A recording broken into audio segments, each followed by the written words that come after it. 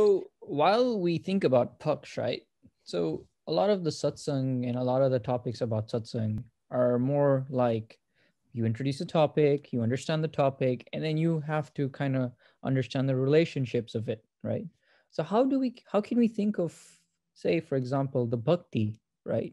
The nine types of bhakti that we have and how can we in kind of think of it in the terms of paksh, you know, I, I just want to highlight a few things and maybe, you know, in the future when you guys are reading about something else and understand something else, uh, you can highlight and correlate things on your own, right?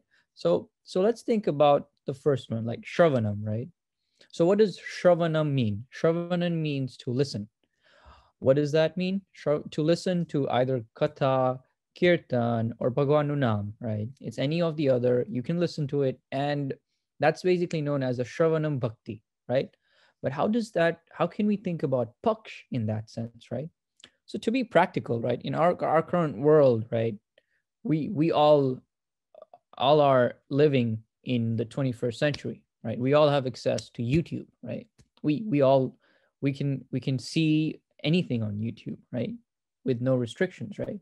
So do we normally listen to katha or do we normally go listen to videos or what what, what are we doing, right?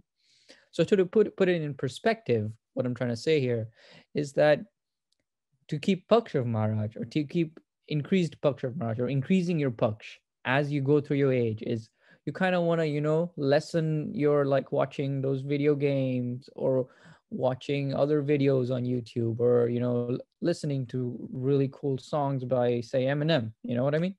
Or whoever it is, right? You, you want to move that kind of bhakti towards the paksh side. And how do you do that? By listening to or listening to katha more or listening to kirtan more. And that's just one example of how Shravanam can relate to paksh, right? Another one you can think about is Atma Nivedanam, right?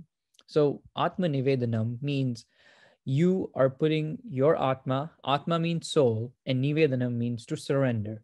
So you're surrendering, surrendering your Atma to whoever it is you're surrendering it to. So in our in our case, in the nine types of bhakti, Atma Nivedanam means we're surrendering ourselves to Bhagwan. We're surrendering our soul to Bhagwan. Now that's a type of paksh, keeping paksh in Maharaj, right? We shouldn't surrender ourselves to Maya, but more Bhagwan.